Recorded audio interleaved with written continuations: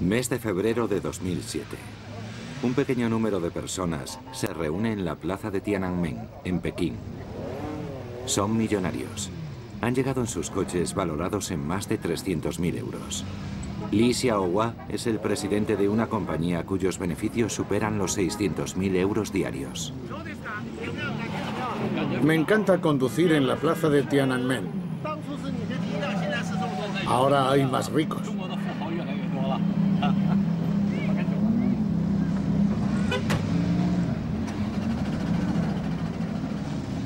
El número de millonarios chinos crece de forma acelerada.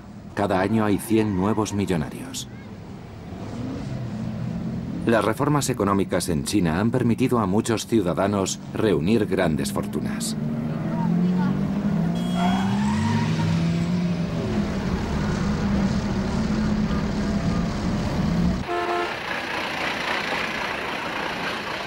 ¿Me da trabajo? Mientras, cerca de 800 millones de personas luchan contra la pobreza en las zonas rurales. Por favor, deme trabajo. No necesito a nadie más. Ya tengo todos los hombres que necesito. Trabajaré todo el día. Mira la parte de atrás del camión. Está lleno. Por favor, deme trabajo. Se lo suplico. Te he dicho que no te necesito.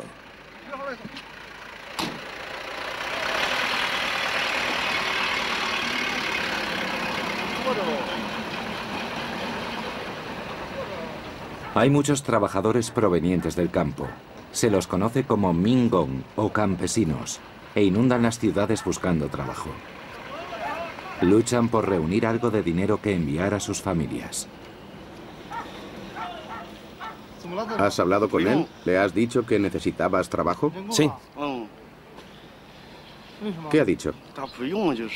que ya tiene demasiados trabajadores. ¿Qué vas a hacer? Hoy es un día perdido. Estoy desesperado.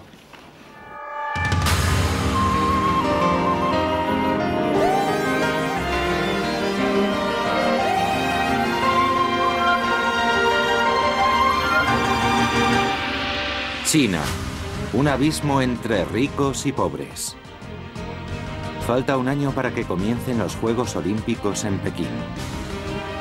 Con el objeto de convertirse en una verdadera potencia mundial, China reconsidera la prioridad que se le ha dado al crecimiento económico. Hoy en día arrecian los problemas sociales y económicos. La desigualdad de los ingresos crece al mismo ritmo que la injusticia. Hay un abismo irreconciliable entre los muy ricos y los que carecen de todo.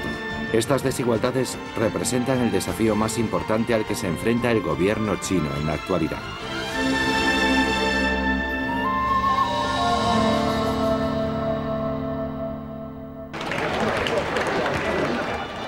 En enero de 2007, un millonario chino celebró su cumpleaños en un lujoso hotel en Pekín. Asistieron alrededor de 300 invitados. Planifica bien el tiempo para que me den todos los regalos de cumpleaños. Hoy, Li Xiaohua celebra sus 56 años. Es dueño de un grupo de empresas. La más rentable es una compañía de inversión que tiene un activo de más de 800 millones de euros.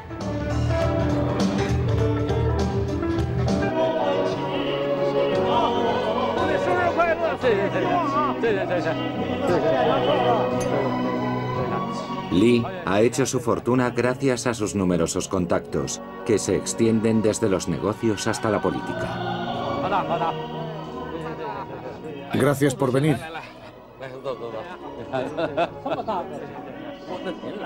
Acuden a la fiesta muchos líderes políticos. Estoy muy contento. Este es el anterior teniente de alcalde. Era mi cargo cuando trajo sus empresas. He tenido la suerte de contar con el apoyo del señor Zhang desde el principio. Esto es fantástico. ¡Qué maravilla! Pase.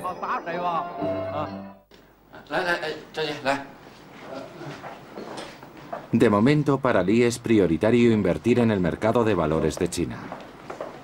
¿Cómo está hoy la bolsa? Hemos estado analizándolo. Creo que las acciones subirán por la tarde. ¿Qué valor tienen hoy los 4 millones de dólares que he invertido? 4 millones 250 mil. Podemos decir que el mercado está en alza. Se dice que Lee nunca ha perdido dinero en la bolsa. Hoy analiza las acciones que tiene en una compañía aérea.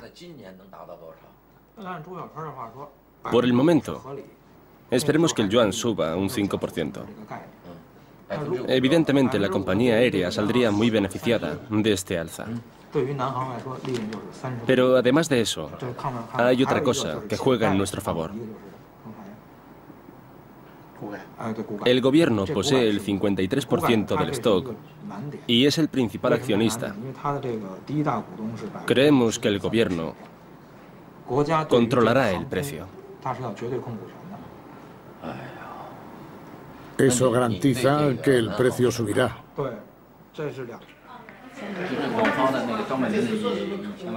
La información que tiene Lee proviene del mundo financiero y político. Siempre tiene las últimas noticias del movimiento de valores.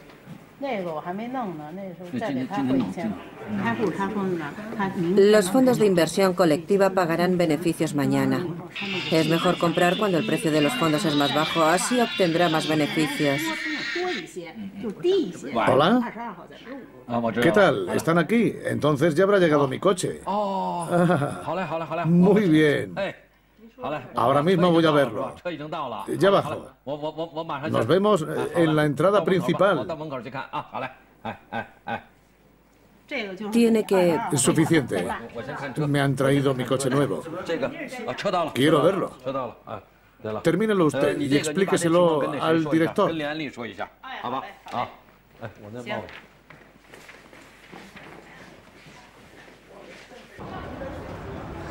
Ah, es magnífico. Es un coche de lujo importado de Inglaterra. Tiene un color precioso. Es impresionante. Lee vio el coche en la exposición del automóvil de Pekín e inmediatamente compró uno. Tiene todas las prestaciones. En China, donde las tasas son muy elevadas, este coche cuesta más de 500.000 euros. Hay pocos coches como este en el país. ¿Qué le parece? Fantástico. Estoy deseando conducirlo. La sensación debe de ser increíble.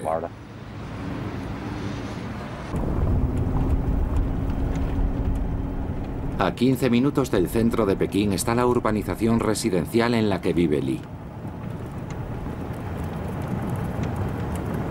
Aquí los precios de las viviendas superan los 5 millones de euros. Solo se permite la entrada a los residentes. Esta mansión, vigilada por guardias de seguridad, es la residencia de Lee.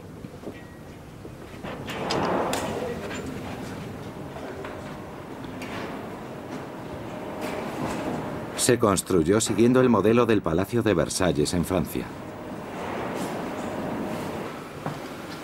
Tiene más de 20 habitaciones de más de 50 metros cuadrados. Me gasté 6 millones y medio de dólares en esta casa. Aquí vengo a leer y, y a usar mi ordenador. ¿El mobiliario es importado? Hecho por encargo en Italia. Es de estilo barroco. Este es el dormitorio principal.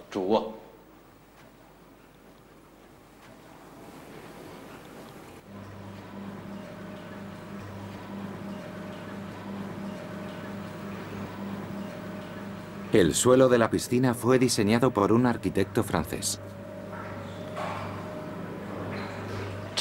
Puedo nadar en esta piscina climatizada todo el año. Esta es la cámara de seguridad. ¿Podemos verla?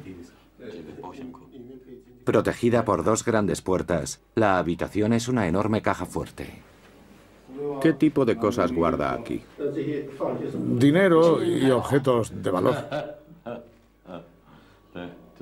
La construí para guardar cosas irreemplazables. Pronto estará llena. Está en una de mis habitaciones preferidas de la casa. Protege todo lo que me importa. Para mí es una habitación muy especial. Lee nos mostró el estudio en el segundo piso. En este cuarto he colgado un retrato de Deng Xiaoping. Él ha sido mi ídolo desde siempre. Su política de liberación económica ha posibilitado que los chinos podamos tener vidas prósperas y muy felices. Deng Xiaoping dijo al pueblo, dejad que algunas personas se enriquezcan primero. Y yo soy un producto de esa política. Este vídeo lo produjo el mismo Lee. 北京出了李小华，大了，跑到东北开拓了，苦了。多亏一个邓小平，改革开放下海了，发了。日本大卖幺零幺。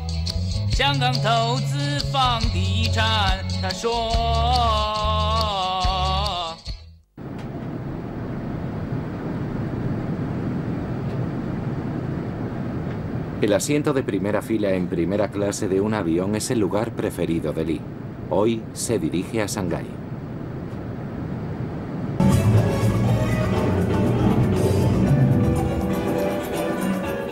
Aquí se celebra un evento anual, una fiesta en honor de los 400 millonarios más ricos de China.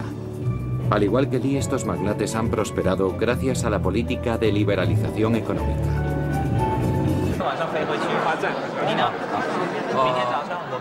El mayor atractivo de la fiesta es el intercambio de inteligencia financiera. Lee es el hombre de negocios más próspero de Pekín.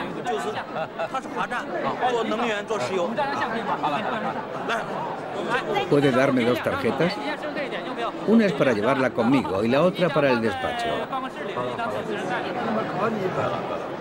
La escena política define el curso que toman los negocios. ¿Qué le ocurrirá al secretario del partido de Shanghái? Le impondrán un castigo más severo todavía. ¿Cree que también podría ser procesado? Como le ocurrió al anterior secretario del partido de Pekín. Dicen que perdió los dientes. ¿Qué más sabe de él? He oído opiniones diferentes. Dicen que fue muy lejos y por eso acabó en la cárcel. Creo que simplemente se trata de ir con cuidado. Todos debemos ir con cuidado. Tiene razón. Tengo un dato muy valioso para usted. Unamos nuestras fuerzas y trabajemos juntos.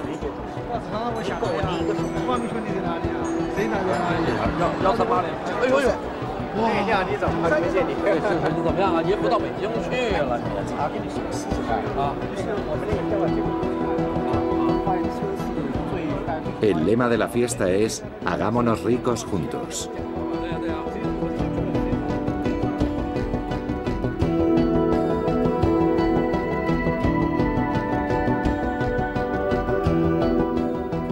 China está emergiendo en medio de un gran desarrollo económico, pero este crecimiento ha causado una disparidad de rentas sin precedentes.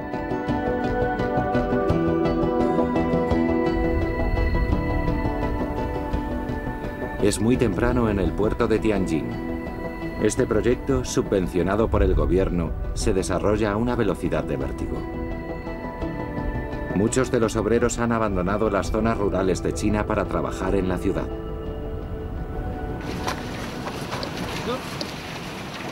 Estos hombres cargan planchas hechas con ramas de árboles que se utilizarán en la obra. Cobran una tarifa de dos yuanes y medio, es decir, unos 20 céntimos de euro por cada plancha que transporten.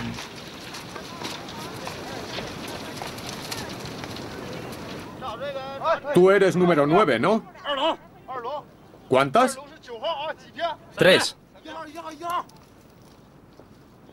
Número 1. 4. A ver, espera un momento. Tú, ¿cuántas planchas has cargado? Cuatro. Me llamo Jin. Simplemente recuerda tu número. Du Wenhai viene del interior de la región china de Mongolia. Tiene 48 años. Son fardos muy pesados. Estoy llevando seis a la vez. Es el único modo de ganar dinero. Mi hija está en el instituto.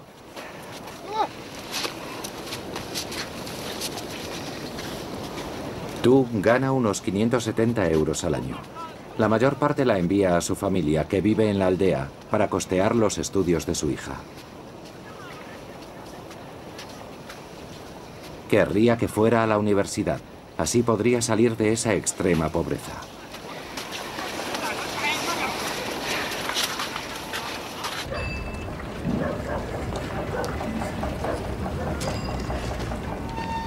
En un distrito de Tianjin viven muchos obreros que, como Du, han venido del campo.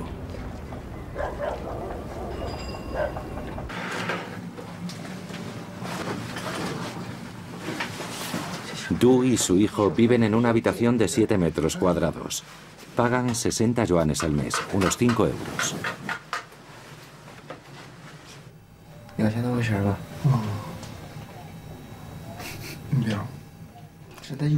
Queremos ahorrar 260 dólares antes del año nuevo. Pero así no podremos.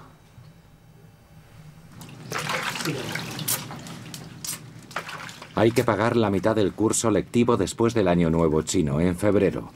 Y Du tiene pocas posibilidades de reunir el dinero. Me debe dos meses de alquiler.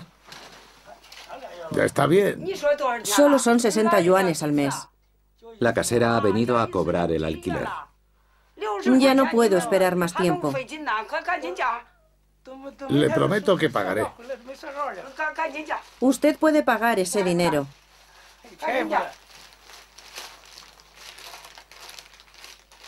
Y quiero que me pague ahora mismo. Sé que gana dinero.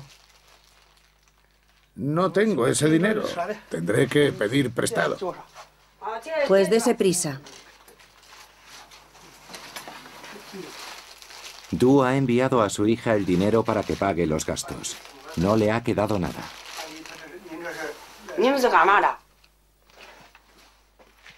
No tiene más alternativa que pedir dinero prestado a otros trabajadores. Y espero que recuerde que el próximo alquiler vence dentro de ocho días. Si la situación no mejora, es posible que Du no pueda seguir pagando la educación de su hija.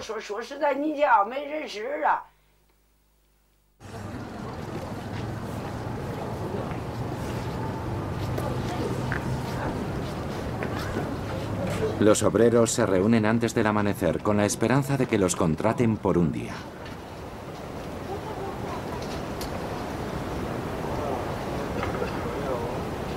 Zhang Jianping nació en la misma aldea que Du. Ha estado viniendo aquí durante dos semanas. Busca trabajo, pero no ha encontrado nada. Ahí viene una furgoneta. El encargado de una constructora pasa por el lugar. No necesito a nadie más. Por favor, deme trabajo. ¿Por qué me graba? No quiso darme trabajo. El número de trabajadores que provienen de zonas rurales se ha disparado y la competencia para encontrar empleo es muy dura.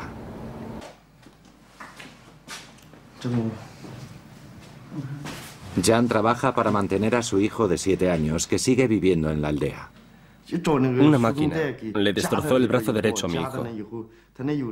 Aquello le causó una fractura múltiple y no se ha recuperado del todo. No puede escribir con la mano derecha. Apenas puede utilizar ese brazo.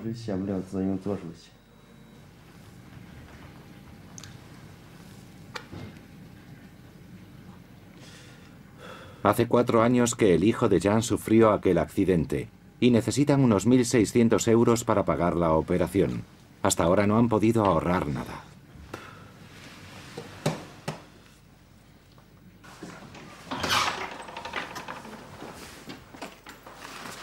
La mujer de Jan, Jan Qiu, también está en Tianjin buscando trabajo. Hoy ha estado trabajando desde la madrugada, colocando postes eléctricos en la costa.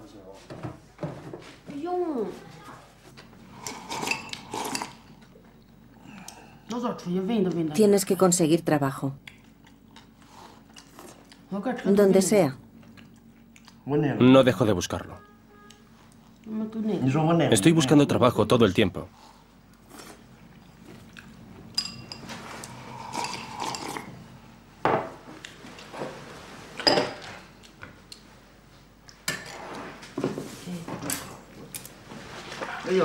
Siempre estoy preguntando. Pero somos demasiados los que lo necesitamos. Y deja de quejarte por ese motivo. Yo no me quejaría tanto si trabajaras. Ya estás otra vez con lo mismo.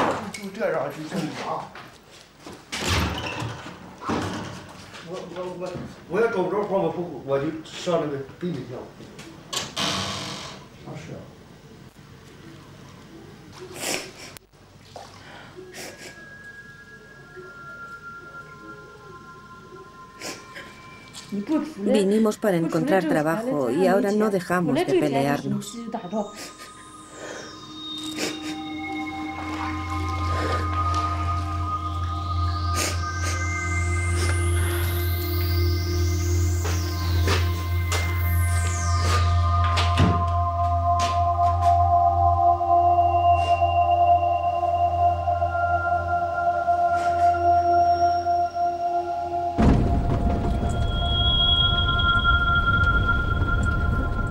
Esta es la aldea en la que nació Jan, en el interior de la región de Mongolia.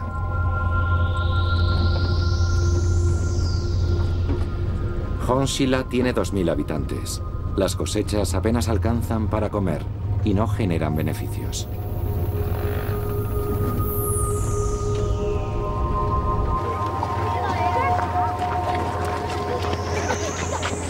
Los niños que se quedaron viven en la residencia de la escuela primaria. Como consecuencia de la reforma económica, los gastos médicos y de escolarización se han disparado. La mayor parte de los padres han tenido que irse a la ciudad para ganar dinero.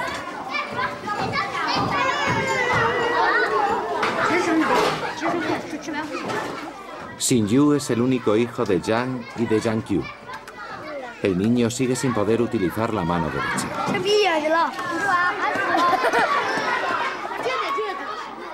Los niños comen en el colegio. Comen dos veces al día, desayuno y cena. A causa de las dificultades económicas, solo se alimentan de arroz y encurtido de verduras. Por la noche la temperatura desciende hasta 20 grados bajo cero. Hay escasez de carbón y los niños duermen juntos para no pasar frío.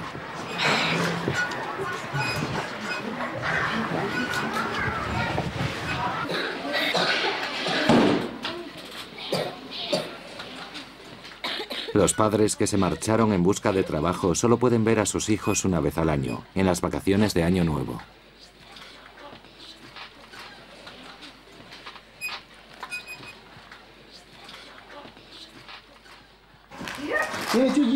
Muy bien, vamos a escribir una redacción. Escribid que queréis ser de mayores.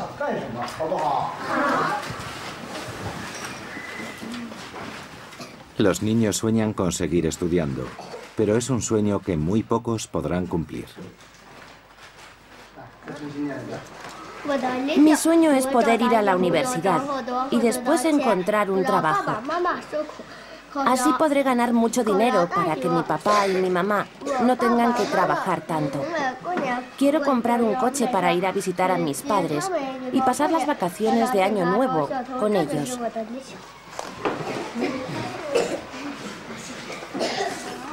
Mi mamá y mi papá trabajan para pagar mis estudios. Por eso tengo que entrar en la universidad. Mi sueño es estudiar en la universidad y ser una buena científica.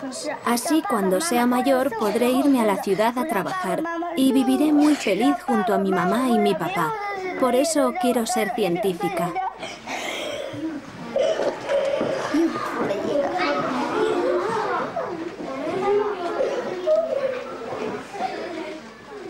Estos niños solo tienen siete años y crecer separados de sus padres es muy duro para ellos.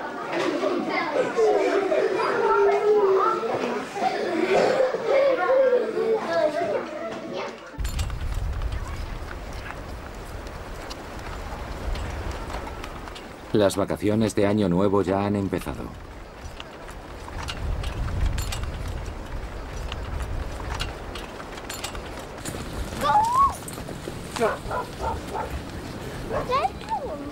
Yu regresa a su casa. Ahora solo viven allí sus abuelos. Ponte cerca del fuego. ¿Hacía frío?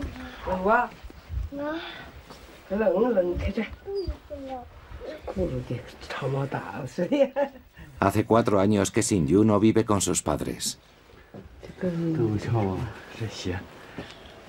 Debes de tener frío, las suelas están destrozadas. Tienes los zapatos muy desgastados. Se están cayendo a pedazos.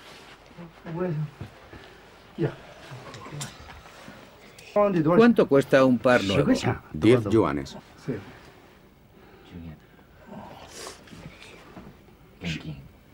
¿No puede permitírselo?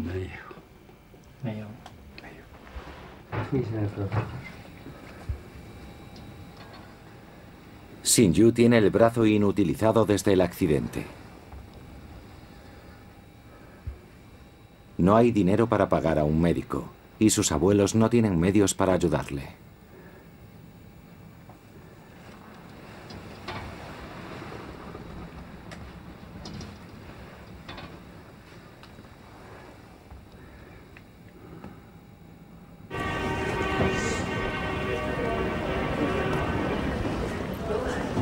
En Tianjin, los padres de Yu esperan con impaciencia que lleguen las vacaciones. Volverán a casa para estar con su familia. Ahora están mirando juguetes para Yu. Es el único regalo que le hacen al año. ¿El más barato? 100 yuanes. ¿El más barato 100 yuanes? Y no puedo rebajárselo.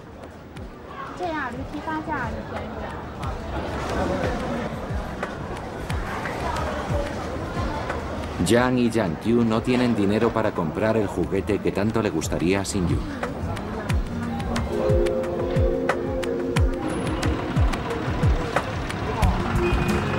En los últimos años, la población ha crecido notablemente en Tianjin.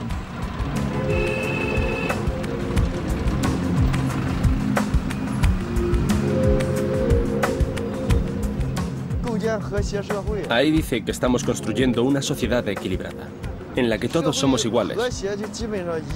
Pero todos sabemos que el abismo es inmenso.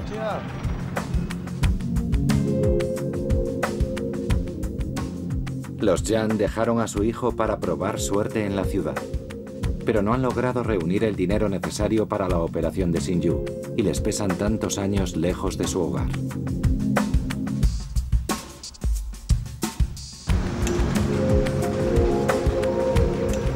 En la actualidad, Tianjin se levanta en medio de una vorágine inmobiliaria sin precedentes. Este es un barrio residencial llamado Furrenkyu, que significa ciudad de lujo, y solo es accesible a los más ricos. Los apartamentos se venden por más de 150.000 euros. Las casas individuales cuestan alrededor de 500.000 euros, los ingresos de 700 años de un trabajador de áreas rurales. Las propiedades acaban de salir al mercado y el 60% ya están vendidas. Los compradores pertenecen a una poderosa clase emergente, conocida como la nueva aristocracia. Hoy, una joven pareja va a comprar un apartamento de lujo. ¿Va a comprar? Eso es. El comprador de uno de los apartamentos de 180.000 euros es el presidente de una compañía. Jim Bo, al que todos llaman Johnny Jin, tiene 29 años. La señal es de 70.000 dólares. Me parece muy bien. Me gusta el apartamento. Si está de acuerdo, firme aquí.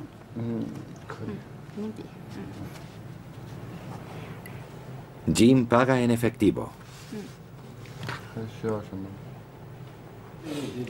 ¿No es un poco caro? El dinero no es un problema.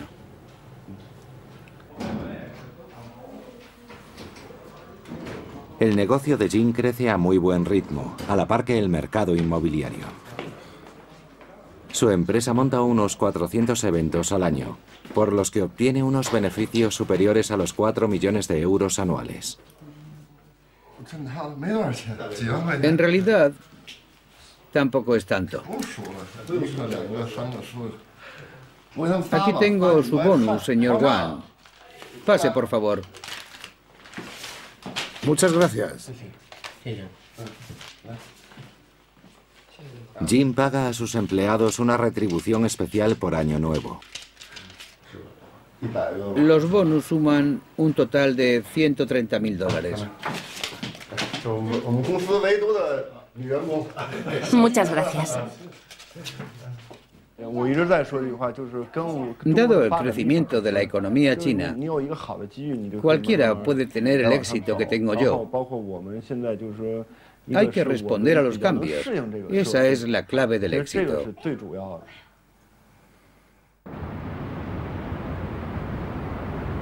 El estatus de la nueva aristocracia de Tianjin ha crecido considerablemente en los últimos años.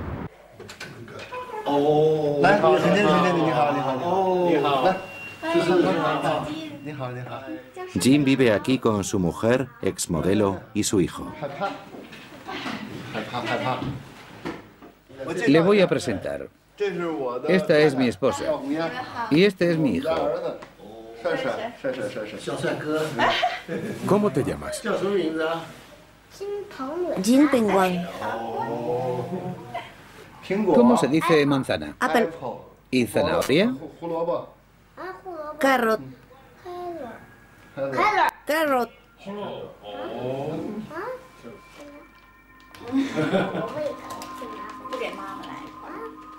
Jin desea enviar a su hijo al extranjero en el futuro para que termine sus estudios. Quiere que reciba la mejor educación posible. Jin creció en un entorno elitista de Tianjin.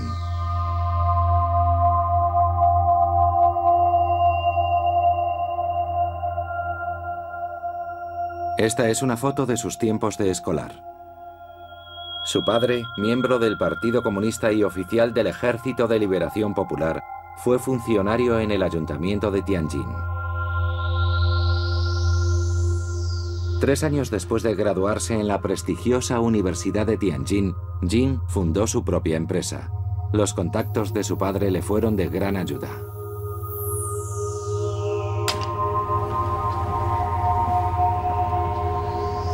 Siendo ya director de su promotora, Jin compró algunas propiedades en el momento que el mercado inmobiliario empezaba a despegar.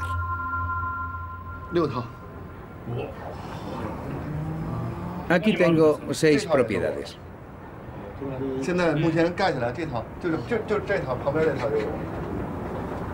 ¿Solo en esta zona? También tengo una cerca de aquí y algunas más en otro barrio. No podría decirle cuántas tengo. ¿Pero son todas para uso propio? No, las tengo alquiladas. En China, el negocio inmobiliario es una apuesta segura. A través de mis influencias obtengo importante información de primera mano. El negocio inmobiliario seguirá dando beneficios.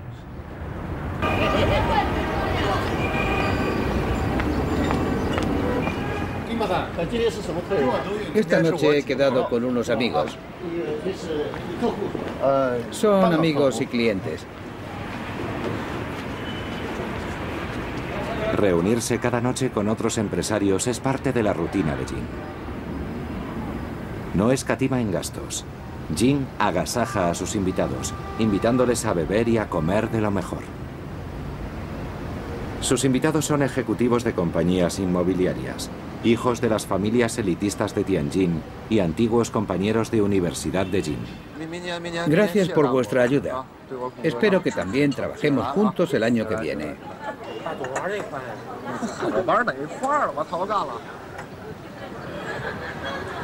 No reprimáis, a beber.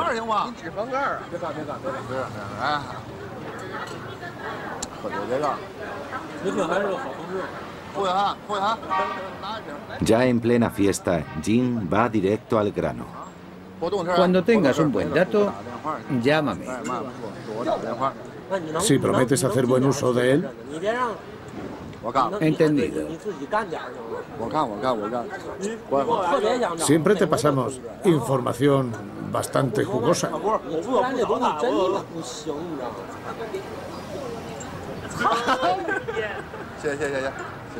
Por el futuro.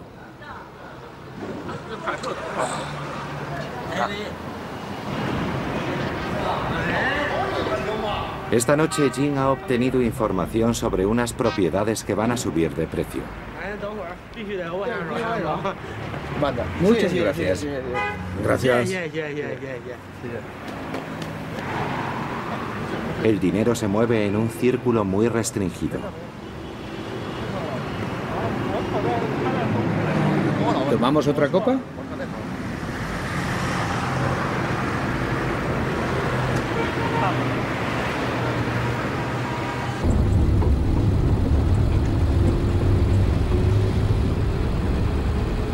Vísperas de las vacaciones del nuevo año lunar, los trabajadores pasan toda la noche en un autocar camino de sus respectivas aldeas.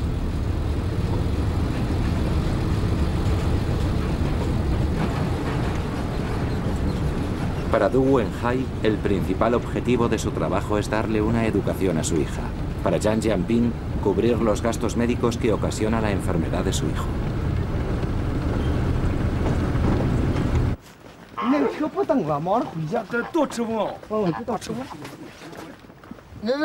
Shinju, Ven,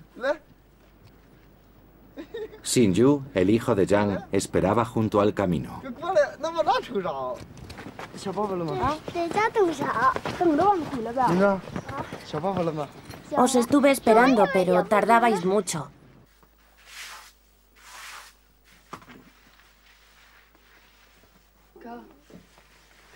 El brazo está peor que antes.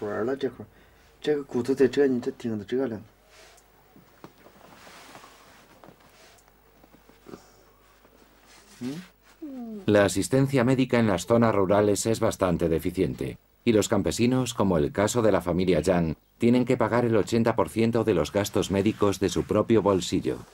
La operación de Xinyu les costaría unos 2.500 euros, suma equivalente a los ingresos familiares de tres años completos.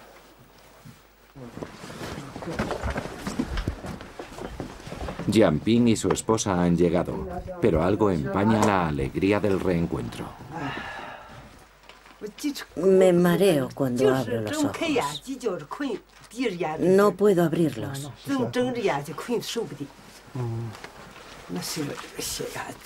La madre de Jianping se mueve con dificultad.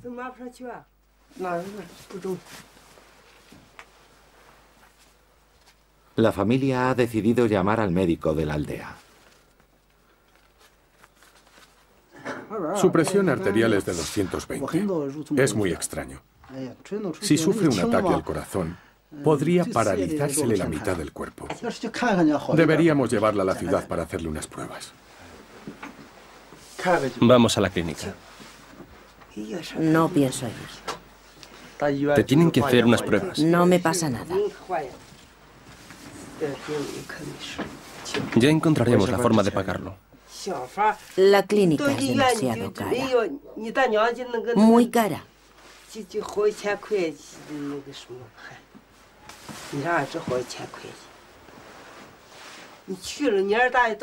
A un familiar le cobraron 4.000 yuanes. Es más importante operar a Shinju. Tienes que conseguir dinero urgentemente. Pero mamá corre peligro. Puedo pedir dinero prestado. Ya lo devolveré. ¿Me estás diciendo que no gano lo suficiente? No puedo hacer más de lo que hago. Lo intento, pero no puedo hacer más de lo que hago. Me rindo. Esto no está a mi alcance. Es una tontería derrochar ese dinero. No necesito ir a la clínica.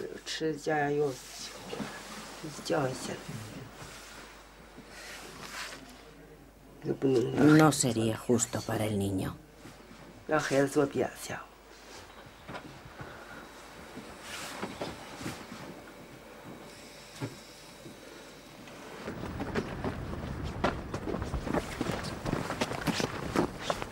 Du Wenhai ha trabajado arduamente para costear la educación de su hija. Su hijo tenía que trabajar en Tianjin y Du ha viajado solo hasta la aldea.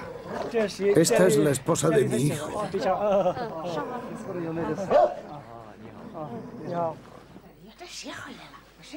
Mi nieta. Esta es mi hija. Está en el instituto.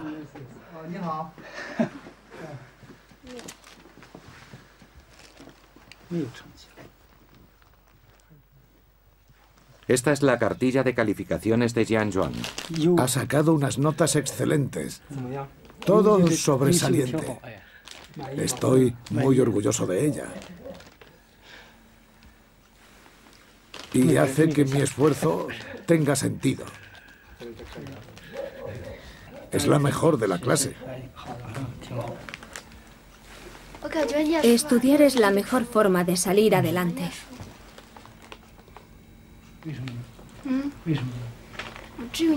Es la única manera de cambiar el destino. Solo podemos confiar en la educación. Quiero conseguir un buen trabajo y ganar dinero. Para poder compensar a mi padre por todo lo que está haciendo por mí.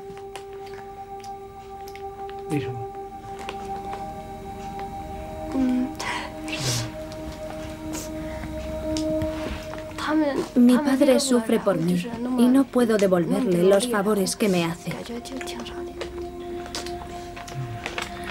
Tú no te preocupes por tu padre.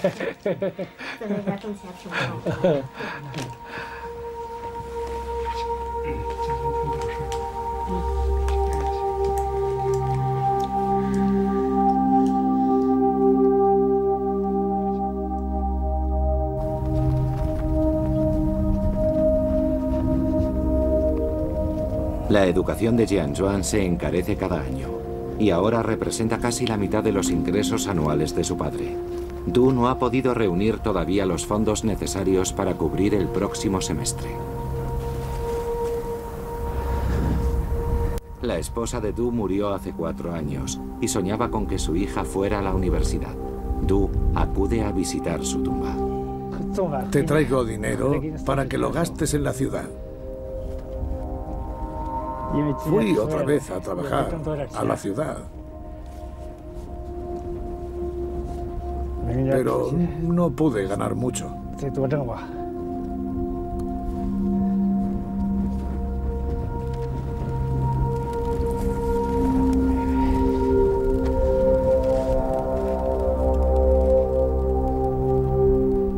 Tal como están las cosas, Du sabe que le será imposible ganar lo suficiente para pagar los gastos de su hija y está obligado a tomar una decisión drástica.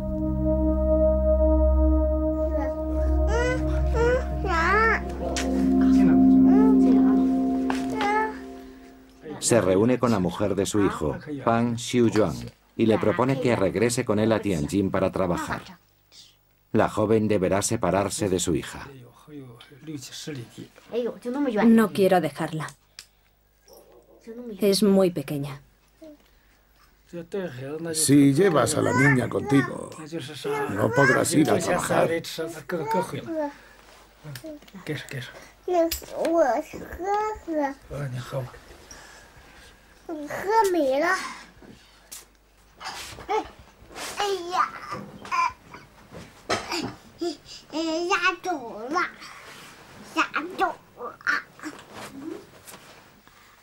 Voy a echar mucho de menos a mi hija, pero no hay otra salida.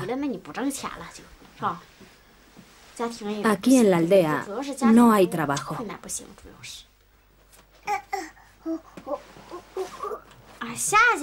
Tengo que hacer este sacrificio porque nuestra familia no tiene dinero suficiente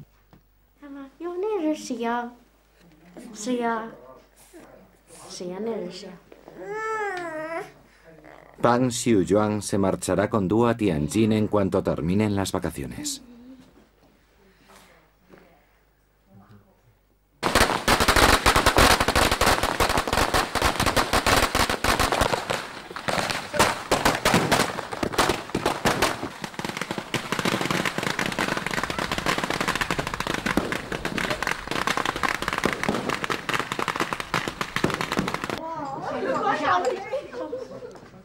Xiuyuan dejará a la niña con sus abuelos.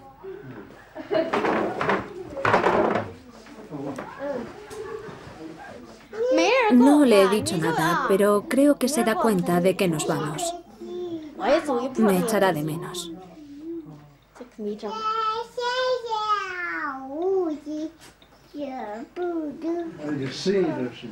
Le llevará un tiempo acostumbrarse a esta casa.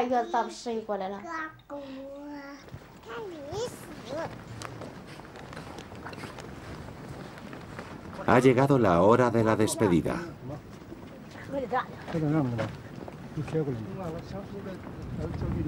交给我妈了，啊就跟着我爸来来来，走喽，来来来，走喽。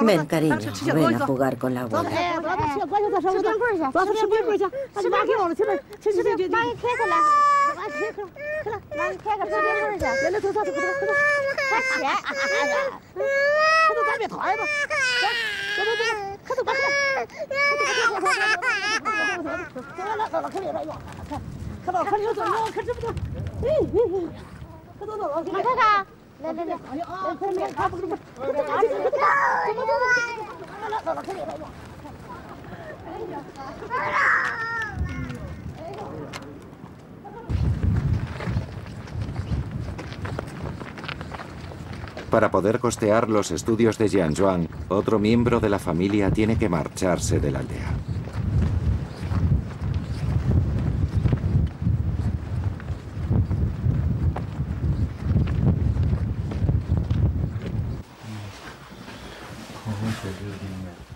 Jan Jianbin también tiene que despedirse de su familia. ¿Vas a ir a despedirme? No, no quiero. Quédate aquí. Tengo que marcharme. No te vayas.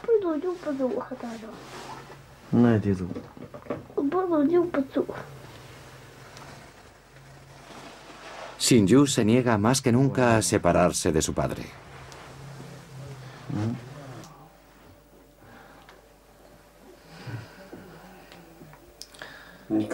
Padre, debo ir. Oh. Buena suerte en Tianjin. No te preocupes por Shinju. Es mi único nieto y le cuidaré. Le cuidaré bien.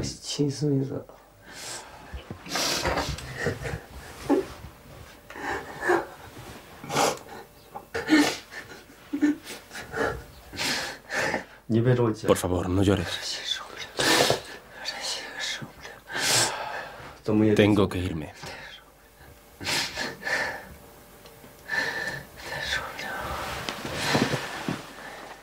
Este es el quinto año que Jianping deja a su familia para ir a trabajar a la ciudad.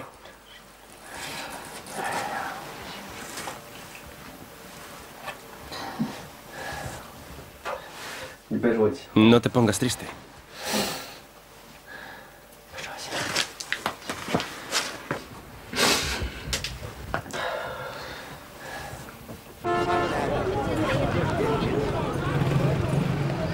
El autocar que los llevará a Tianjin está llegando a la aldea.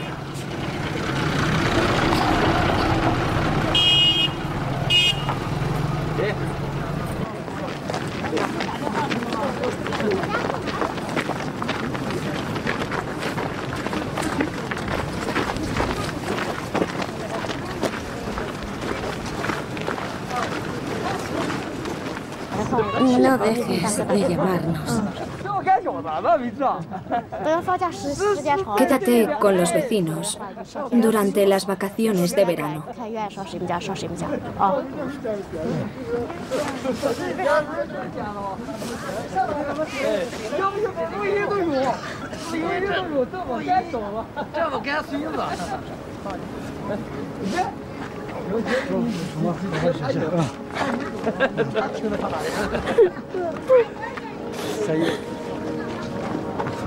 No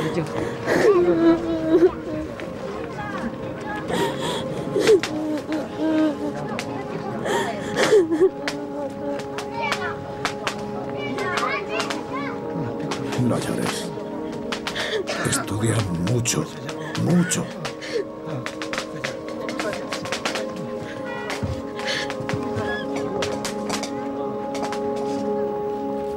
Abre la ventana, mamá.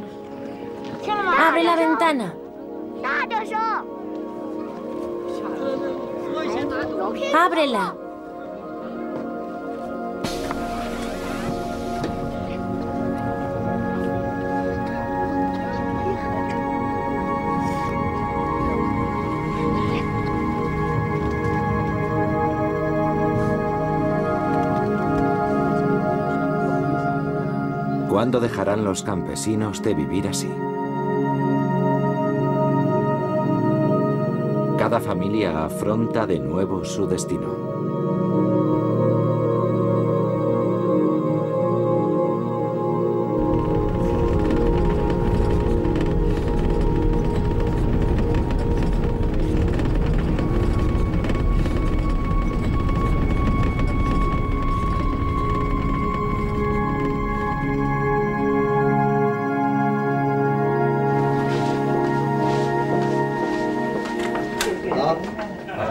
Año Nuevo!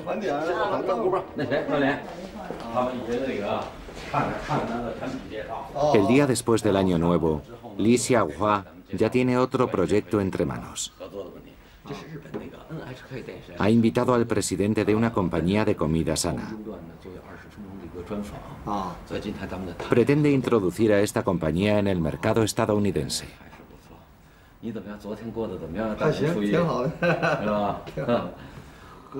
Si conseguimos hacerlo, las acciones subirán y obtendremos beneficios.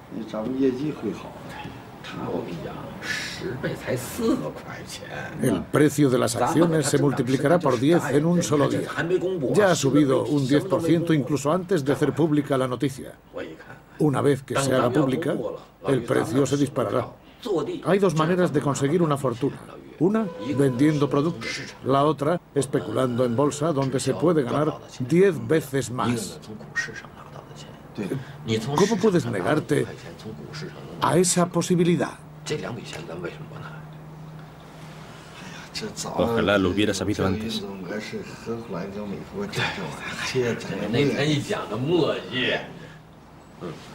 Espéreme aquí un momento.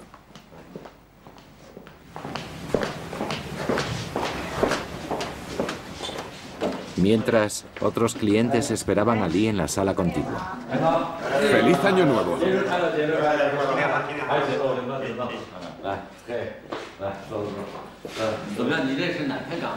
Lee ha llamado a dos importantes inversores de Shanghái y Shenzhen y les ha pedido que inviertan para que la compañía de comida sana se introduzca en el mercado de valores. Si aceptan unirse a mí, tendremos una fuerza increíble, el poder de una gran entidad financiera. Este plan tiene todas las garantías de éxito. La empresa en la que les pido que inviertan tiene un gran futuro. Su fuerza radica en su red de ventas. Y esas ventas mueven decenas de millones de dólares. Es realmente impresionante. Estaremos encantados de asociarnos.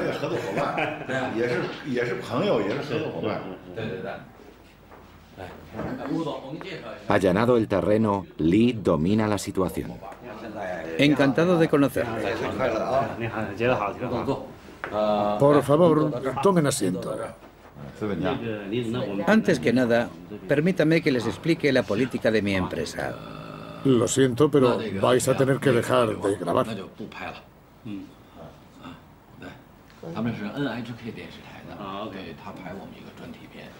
Si el proyecto tiene éxito, el valor de las acciones de la empresa se multiplicará por 10 y todas las partes obtendrán pingües beneficios.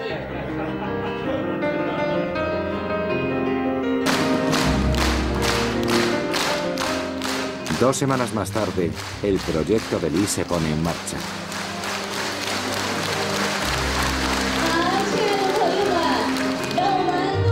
El proceso comenzó introduciendo a la compañía entre las empresas que cotizan en Estados Unidos. Demos la bienvenida al presidente, el señor Li Xiaohua.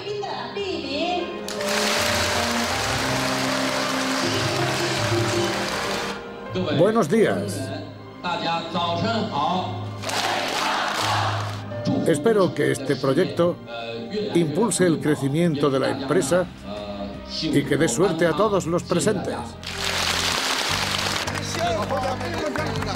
Si todo sale bien, Lee conseguirá una inmensa fortuna. Los sueños de Lee se disparan.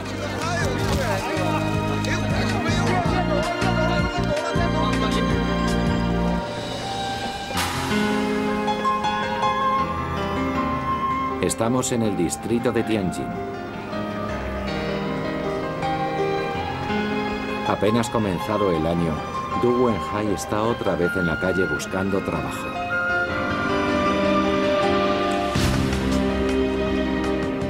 Tienes mala cara. Estoy resfriado y tengo fiebre.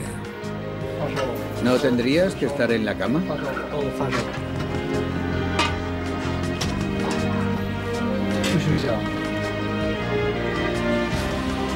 Estoy bien. Ya se me pasará.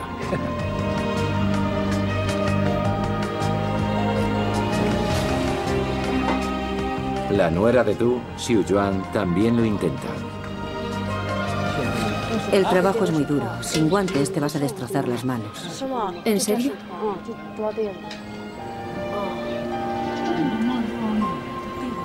Hoy no ha podido encontrar trabajo. Es un comienzo de año muy duro.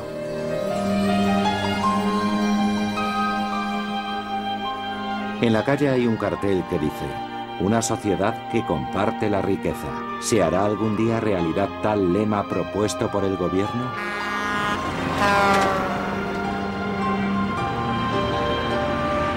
Pero el abismo entre pobreza y riqueza es cada vez más grande y representa un lastre para el progreso de China.